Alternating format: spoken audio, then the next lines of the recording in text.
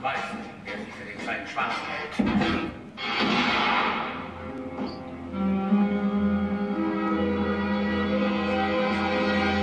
Wer sind Sie? Ich bin Michael Jackson von den Jacksons. Und ich bin Homer Simpson von den Simpsons.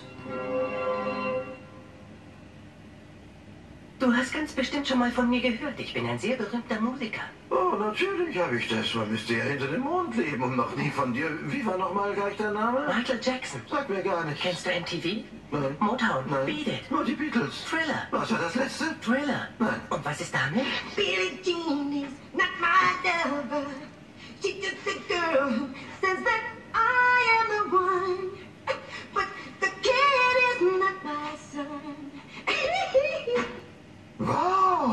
Wie machst du denn das bloß mit den Füßen? Den Moonwalk? Nein, das mit den Pass Füßen. auf, du hebst die Ferse ein wenig an, dann gibst du etwas Druck auf den Ball.